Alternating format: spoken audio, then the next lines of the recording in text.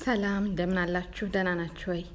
ዮርዳኖስ ነኝ። እንግዲህ እንኳን በሰላም መጣችሁ ወደዚህ ቻናል። እንግዲህ በተደጋጋሚ በጠየቃችሁኝ መሰረት የ strawberry muffin እንዴት አድርጌ እንደምሰራ ፌስቡክ ላይ ብዙዎቻችሁ request አድርጋችሁልኝ ነበረ። ስለዚህ ዛሬ እንግዲህ አሰራሩን ይዤላችሁ መጥቻለሁ ማለት ነው። በጣም easy ነው፣ ሁላችሁም መስራት ትችላላችሁ። so ዛሬ አብረን እንሰራለን። እንግዲህ የትም እንዳትሄዱ ተከታተሉኝ። በመጀመሪያ የሚያስፈልጉን ሁለት መካከለኛ size ያላቸው እንቁላሎች ናቸው። እንቁላሉ ፍሪጅ ውስጥ ከነበረ ትንሽ ይሄን muffin ከመስራታችን ከሰላሳ ወይም ከአርባ ደቂቃ በፊት ከፍሪጅ አውጥተን room temperature ላይ እንዲሆን ብናቆየው ጥሩ ነው። ብዙ ጊዜ ቀዝቃዛ ነገሮች እንደ ወተት ወይም እንቁላል ኬኮች ላይ muffin ኖች ላይ ስንጠቀም room temperature ላይ ቢሆኑ ጥሩ ነው። ምክንያቱም በቀዘቀዙ ቁጥር በደንብ ሊጡ ኩፍ እንዳይል ያደርግብናል ማለት ነው። በመቀጠል ያደረግኩት ምንድን ነው? እነዚህ ሁለት እንቁላሎች ላይ አንድ የቡና ስኒ ስኳር ጨምር ያለሁኝ። ለልጆቻችሁ ስኳር መስጠት የማትፈልጉ ልጆች እንግዲህ በስኳሩ ቦታ ላይ ሌላ እናንተ የምትመርጡትን ስዊትነሮች መጠቀም ትችላላችሁ። እኔ ግን ይሄ ማፍን መጨረሻ ላይ ስድስት ስድስት muffin ስለሚወጣው አንድ የቡና ሲኒ ለስድስት muffin ኖች ሲከፋፈል ስኳሩ ብዙም ያን ያህል effect አይኖረውም ብዬ ስላሰብኩኝ አንድ የቡና ሲኒ ስኳር አድርጌ ያለሁኝ ማለት ነው። በተጨማሪ አሁን ያደረግኩት ምንድን ነው olive oil እንደዚሁ አንድ የቡና ስኒ አካባቢ የሚሆን ትጨመራላችሁ። make sure olive oil ኡ cook የሚደረግ መሆኑን ምክንያቱም አንዳንድ olive oil ኦች እንደዚሁ cook ሳይደረጉ የምንጠቀምባቸው ሲሆኑ ሌሎቹ ደግሞ cook ማድረግ የሚቻል አይነት አሉ ማለት ነው። ስለዚህ እሱን ካረጋገጣችሁ አንድ የቡና ስኒ olive oil እናደርጋለን። በተጨማሪ flavor ኡ ቆንጆ እንዲሆንልን የ strawberry ጠንከር ያለ flavor እንዲኖረው ይሄ የ strawberry flavor ነው። ልክ ዳቦ ቆሎ ወይም ኬክ ስንጋግር ቫኒላ እንደምንጠቀመው ማለት ነው። ወደ ሁለት የሻይ ማንኪያ አካባቢ የሚሆን የ strawberry flavor ተጠቅሜ ያለሁኝ። እዚህ ጋር ደግሞ baking powder አለኝ። baking powder ም እንደዛው ሁለት የሻይ ማንኪያ የሚሆን አካባቢ እጠቀማለሁኝ ማለት ነው። በመጨረሻ እነዚህን ውህዶች በደንብ አድርጌ በእንቁላል መምቻ አደባልቃቸዋለሁኝ ማለት ነው።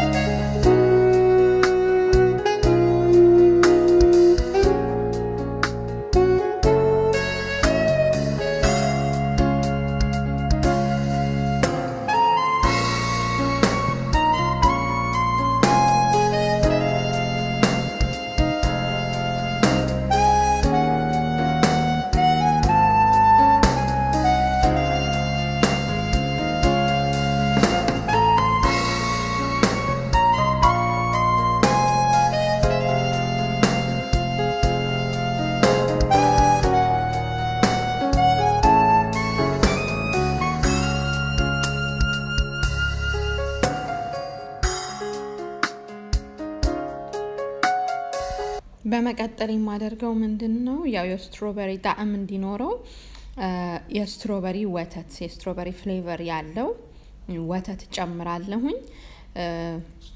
ቅድም የ strawberry ማጣፈጫ እንደ ቫኒላ አይነት የሚሆን ነው ያልኳችሁን ነግሬያችኋለሁ።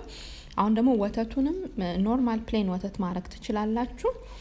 በደንብ ግን flavor ኡ እንዲሰማ የ strawberry ወተት አደርጋለሁ ማለት ነው። ከፍሪጅ አሁን ቅርብ ሰዓት ላይ ስለሆነ ያወጣሁት ትንሽ ሞቅ አደርገዋለሁኝ።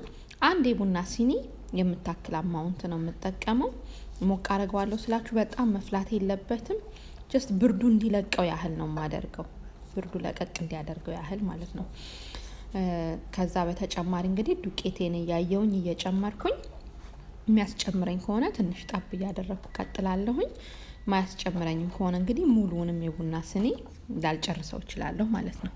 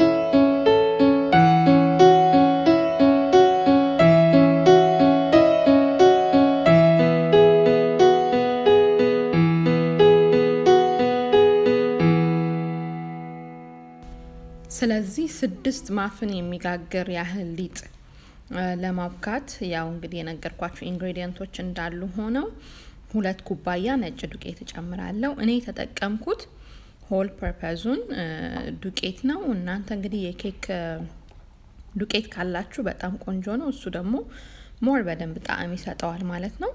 በደንብ አርጌ ይሄንን mix ካደረግኩኝ በኋላ ወደ መጋገሪያ እቃዬ ላይ መደርደር ነው የሚሆነው የሚቀጥለው ስራ። ከዛ በፊት ግን ሁሉም ነገር በደንብ incorporate ማድረጉን check አደርጋለሁኝ። የሊጡም thickness እንደምታዩት ነው። እንደ ዳቦ አናወፍረውም፣ ቀጠን ያለ ሊጥ ነው የሚሆነው። አሁን እንግዲህ በእንቁላል መምቻው ቀና ሳደርገው ተመልክታችሁታል። በደንብ በቅቶታል። በደንብ mix አድርጌዋለሁ። አሁን የማደርገው መጋገሪያዬን አመጣና የ muffin ወረቀቶቼን ደርድሬ እዛ ውስጥ መሙላት ነው የሚሆነው ማለት ነው የሚቀጥለው ስራ።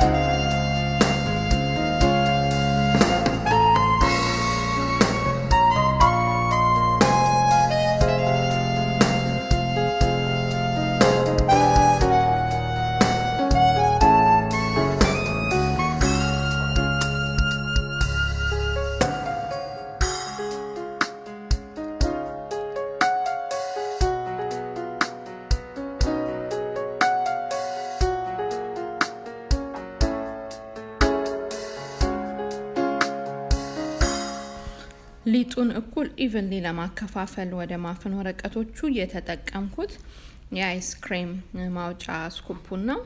እሱ እኩል የሆነ measurement ስላለው እያንዳንዱ ላይ የማስቀምጠው አንዱ ከአንዱ አይበላለጥብኝም ማለት ነው። ስለዛ በሱ እኩል እኩል እያደረግኩኝ እየለካው አፉ ድረስ እያደረግኩኝ እያንዳንዱ የ muffin መጋገሪያ ላይ ሁለት ሁለት scoop አደርጋለሁ ማለት ነው።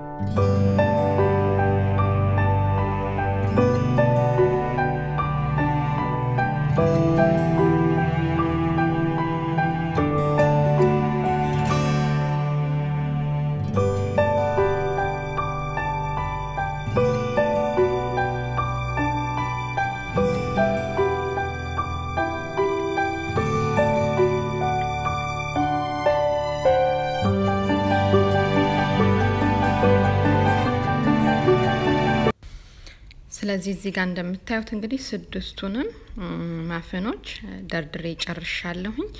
አሁን የሚቀረኝ ወደ ምድጃ ውስጥ መክተት ነው። ከዛ በፊት ምድጃውን ለአስር ደቂቃ ያህል በመቶ ዲግሪ ሴልሺየስ ሞቅ አድርጌዋለሁ። ምድጃ ኢትዮጵያ ውስጥ የትም ቦታ የሚገኝ ዳቦ በብዛት የምንጋግርበት ዳቦ ለመጋገር የምንጠቀምበት ምድጃ ነው። እሱ ውስጥ ነው የምጋግረው።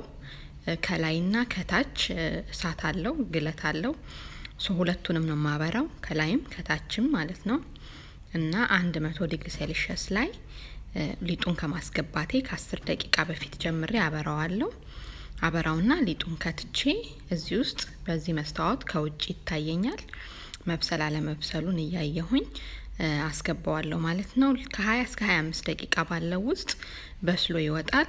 ስለዚህ ያጋልኩት ምድጃ ውስጥ ጨምሬ ያለሁኝ በደንብ ታይት አድርጋችሁ ዝጉት። ከዛ በኋላ በዛች በመስኮት በኩል እያየን እንቆጣጠራለን ማለት ነው። እንግዲህ የስትሮቤሪ ማፍን አሰራር ይሄንን ይመስላል። በጣም ቀላል ነው። ሁላችሁም ቤታችሁ ውስጥ ልትሰሩት ትችላላችሁ። ልጆቻችሁም እንደሚወዱት በጣም እርግጠኛ ነኝ። ስላያችሁኝ በጣም አመሰግናለሁ። እናንተ ደግሞ ሰርታችሁ እንግዲህ ልጆቻችሁ እንዴት እንደወደዱት እንደምታሳውቁኝ ተስፋ አድርጋለሁኝ። መልካም ቀን ይሁንላችሁ። ቻው